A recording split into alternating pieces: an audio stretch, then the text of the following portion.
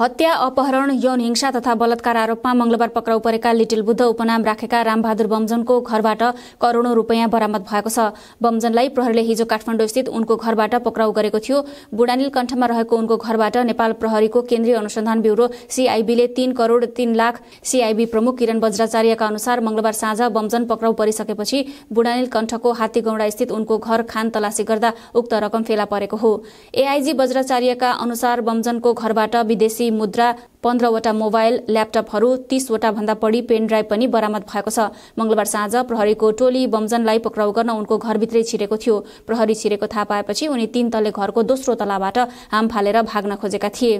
बमजनलाई पक्राउ गर्न ब्यूरोका डीएसपी धर्मराज भण्डारी नेतृत्वको टीम उनी बस्ने घरमा पुगेको थियो। हात्तीगौडामा उनी परिवारसँगै बस्दै आएका थिए। बमजनको निगरानीमा पच्चीसजना प्रहरी परिचालन गरिएको हुनाले उनी भाग्न पाएनन्।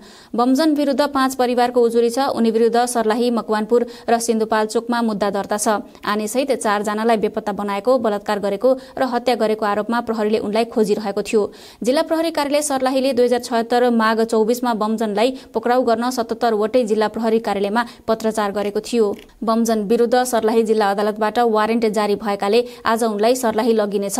बमजन लामो समय बाराको हलखोरिया स्थित जंगलमा बसेका थिए। उनले त्यहाँ आफू तपस्यारत रहेको बताउँदै आएका थिए। पछिल्लो समय भने बमजन सिन्धुलीको कमलामाई नगरपालिका आठ पैरेनी स्थित बीस रोपनी भन्दा बढी जंगल अतिक्रमण गरेर आश्रम बनाई बस्दै आएका थिए। ब्यूरोका ब्यूरोको टोलीले उनलाई पक्राउ गर्न चार असार दुई हजार सतहत्तरमा छापा मारेको थियो तर त्यति बेला उनी प्रहरीको टोली पुग्नु अघि नै भागिसकेका थिए।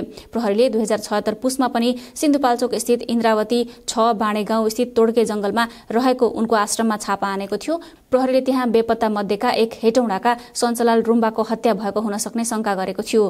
प्रहरीले करिब बीस रोपनी क्षेत्रमा फैलिएको आश्रमको एक स्थानमा कमलो माटो भेटेर उत्खनन गर्दा नौवटा नुनको प्याकेट भेटेको थियो।